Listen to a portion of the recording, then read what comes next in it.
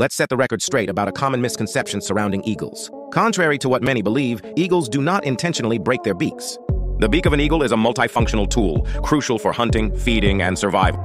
Composed of durable keratin, it's perfectly adapted to the eagle's specific needs. However, there's a myth that suggests eagles break their beaks intentionally. In reality, beak injuries can occur due to accidents, fights, and environmental factors. These injuries can affect an eagle's ability to hunt, feed, and thrive. While eagles are formidable predators, intentional beak breaking is not their behavior. Let's dispel this myth and appreciate the true wonders of these majestic birds.